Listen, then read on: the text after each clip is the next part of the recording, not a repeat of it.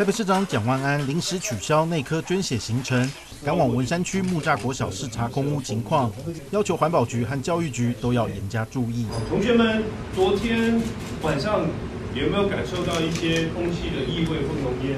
有有，是因为主要是昨天下午在新北市深坑那边有一个工厂失火。原来是新北市深坑工厂发生大火。浓烟和异味开始飘向新店、中永和及台北市文山区，引发民怨。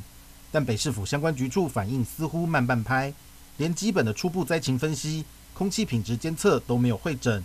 蒋万安坦承应变速度不够快。最重要就是黄委这边在第一时间，我想必须要赶快的做说明，我们新闻稿也好，社群媒体、社群平台、好官网等等，已经让事实。